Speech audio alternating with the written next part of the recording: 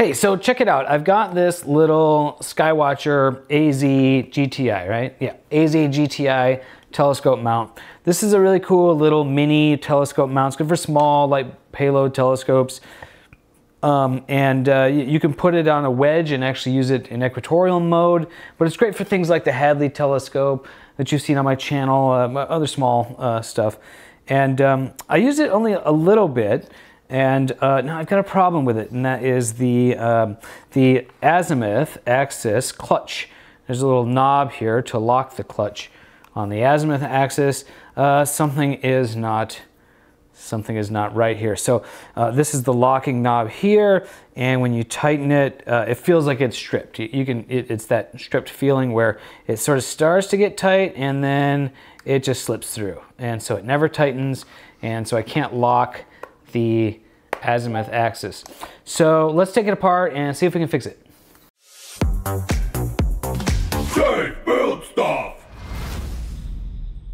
So um, actually, first thing is to take the batteries out. Take that out. Don't need that.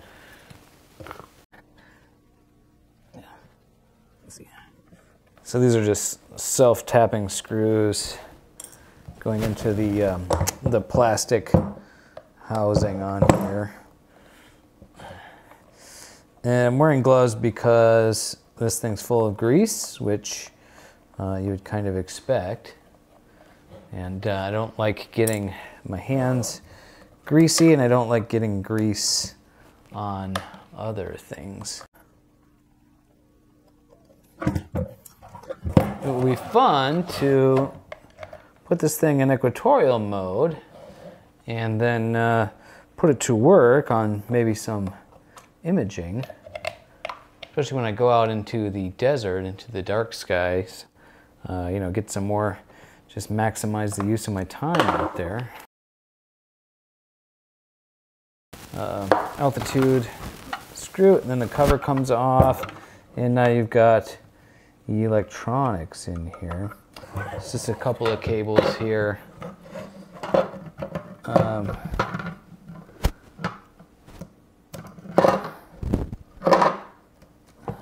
not too small to remove.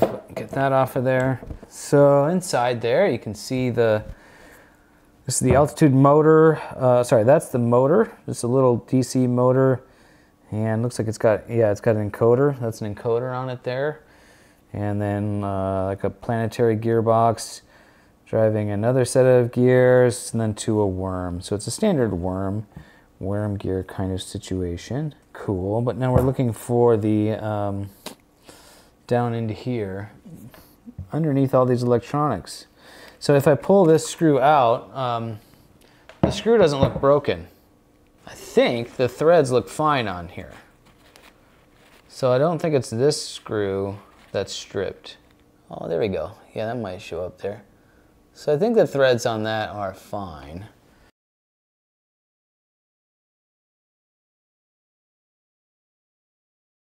So just carefully, um, just to unplug all these cables here.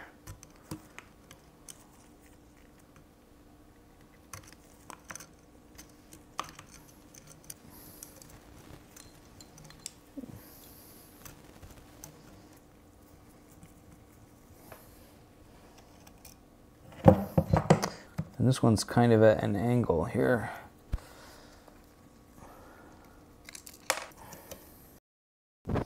It's the uh, main CPU chip there with Wi-Fi module uh, built in.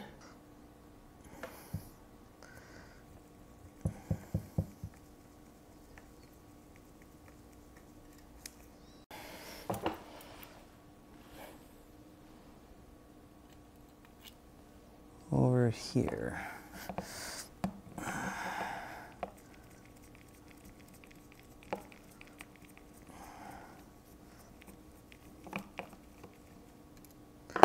They pack a pretty impressive amount of uh, stuff inside these little, inside this housing.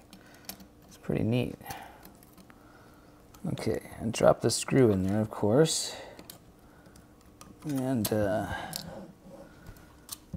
shoot.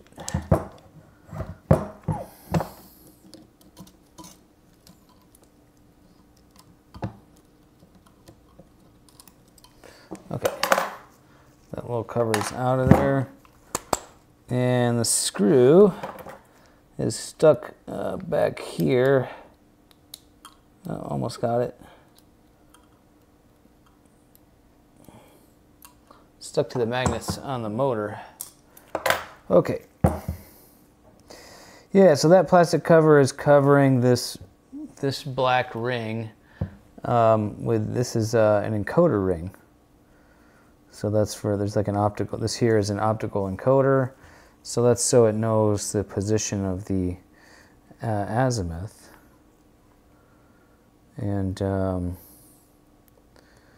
looks like I'm gonna have to take that out. So maybe I can get that off without, um, oh, oh crap.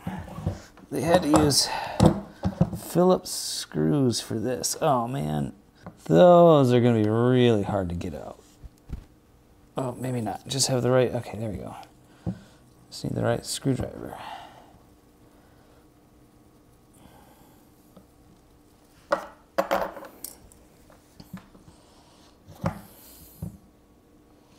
might need to pull that optical, the actual optical, optical encoder out uh, as well. But I'll start with seeing if I can just take this disc off.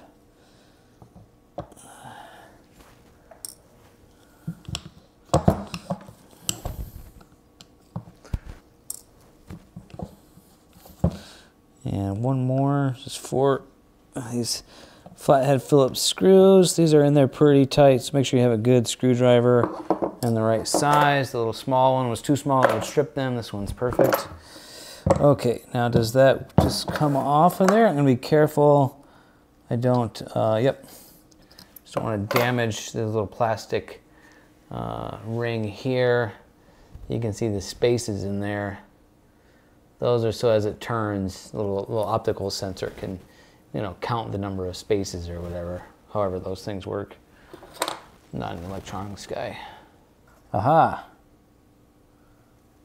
We can definitely see. Yes, okay.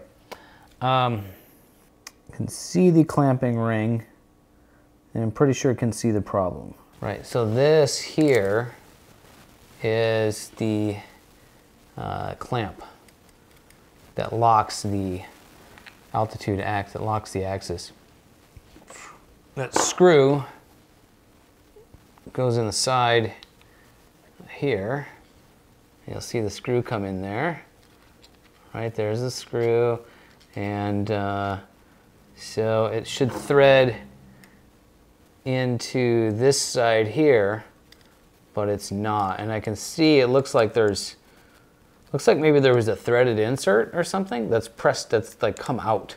Now, okay, so we see the problem. It looks like there's like a helicoil insert that came, that got pressed out somehow. Question is, how the heck would I remove this clamp now?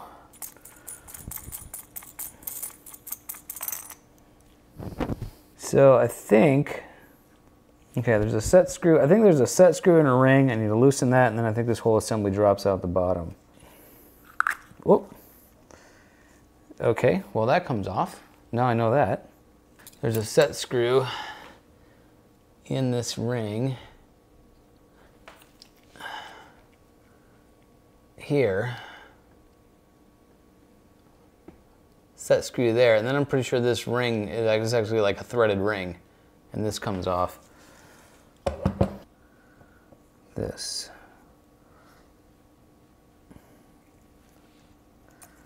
And it feels like it's loosening. Be really careful not to strip uh, these little little set screws. Okay, is there only one? Oh, there's another one on the other side. Yeah, okay. Hard to rotate it around. I should have left that base part on there. But that feels loose. Did I just rotate it all the way around? Oh, it's, it's loose. Is it loose?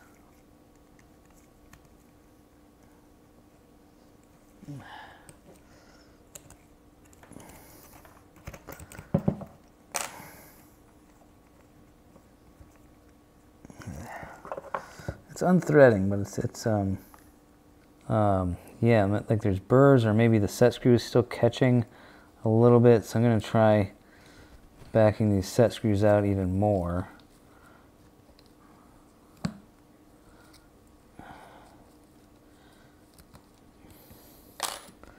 Okay, let's see if it'll come off now. There we go.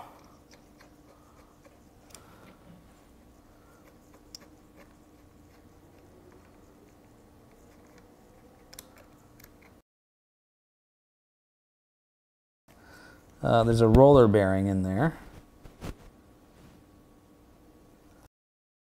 So this is, um, yeah, stuck to the ring. There's like a little bit of oil.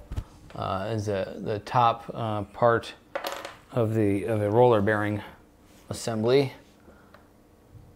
So you can see the roller bearing in there now. Now I'm thinking this whole thing should just drop out the bottom here. Let's see if that, yep, Yep. Okay. Ooh. It's kind of nice looking. Look at that. That's the, uh, it's another roller bearing and there's a bearing and there's, this part is kind of chewed up. There's the worm, uh, the worm gear. There's a bearing and a roller bearing. So there's a lot of bearings in here. If you're wondering why telescope mounts are expensive, well, there's a lot of hardware that goes into them.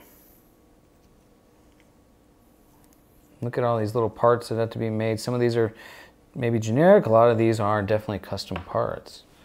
So the fact that they're able to make and sell this thing for, you know, what they are is um, rather impressive. Okay, so now this part, this clamp part that I'm having problems with, this is like the last thing in here. And how the heck does that come out? Looks like maybe it just presses out from this side. Yep, there it goes. Okay. And there it is. So, this is the part that is um, broken, that's damaged. The threads are stripped. This is supposed to thread into there. And uh, yeah, there's just no threads at all in there anymore. Just completely blown through.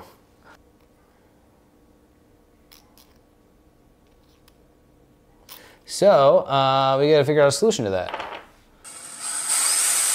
The solution that I came up with was to drill out the M3 tapped threads and retap them to M4.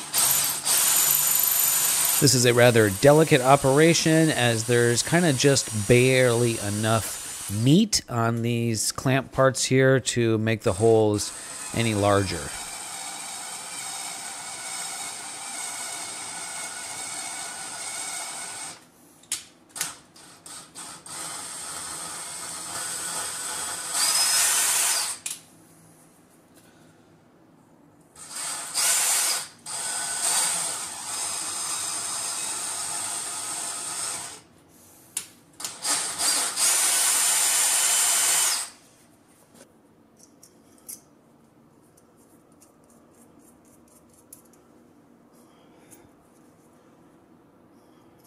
The next challenge is that the stock locking screw has this turned down reduced diameter section.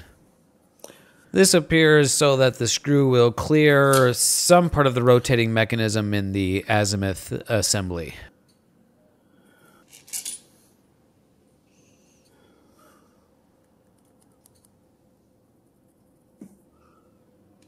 And I don't have a lathe, so this is my makeshift lathe.